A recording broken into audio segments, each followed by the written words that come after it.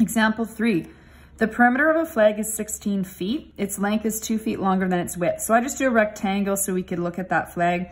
Our length would be the longer side here. So this is the length both here and here. This would be the width. Now I just chose those variables to help me. I need to identify them. In other words, clearly tell me, tell what is uh, each one represents. So L is gonna be length and W is going to be width. Okay, let's look at the question again. Perimeter is the distance around. So we would have a length plus a width plus a length plus a width. So that would mean two lengths plus two widths would equal a distance of 16 feet. So that would be our first equation. Its length is two feet longer than its width. So its length would be the, the width distance plus an additional two feet. So that's how you can write your second equation.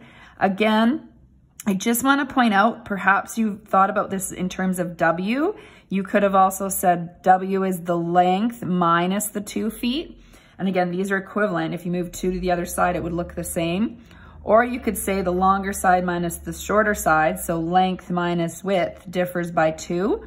That is also true. And again, if you were to move that over, length minus width would equal two. So you only need to write one equation. So when you're doing your questions, just write one of those equations, but perhaps you write it one way and when you check your answer, it looks a little bit different. So I want you to know you're still doing it correct and you gotta be able to recognize that these are all equivalent equations.